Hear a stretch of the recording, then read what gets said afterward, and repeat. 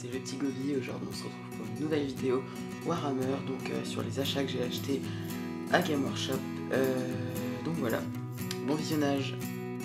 On commence par les peintures. Donc j'ai acheté euh, un violet.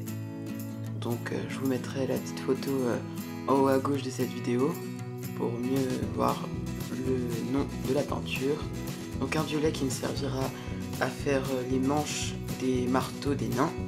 Donc voilà. Un beige pour faire la peau, la peau des nains. Très foncé. Donc un beige qui ressemble pas vraiment à un beige couleur peau, comme la mienne on va dire. Donc plus foncé. C'est le vendeur qui m'a conseillé cette peinture. Et j'ai repris un pot de marron, donc le même qu'hier. Le, même pot, j'en ai deux. C'est parce que, d'abord, ça, ça sera pour les barbes, les barbes des, euh, nains. Et en fait, j'en ai, pris un deuxième parce que j'ai un projet euh, pour faire euh, un décor. Donc peut-être je vous ferai une vidéo à la rentrée parce que là, il y a les vacances qui vont arriver. moi, je pars en vacances en août, donc je pourrais pas vous faire de vidéo. Et j'ai projet de faire un, décor Warhammer et euh, ce sera un décor avec du bois. Donc un bois très foncé. J'ai pris un marron foncé.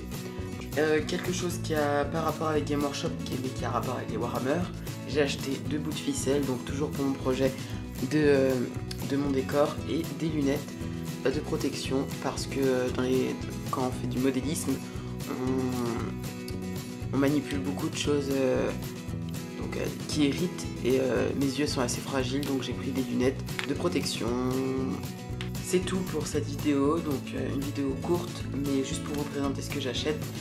Quant à moi, je vous dis à une prochaine vidéo. N'hésitez pas à vous abonner, à mettre un like, à commenter cette vidéo, à me proposer des, des projets, des, des peintures, des, des conseils tout simplement. Voilà. A plus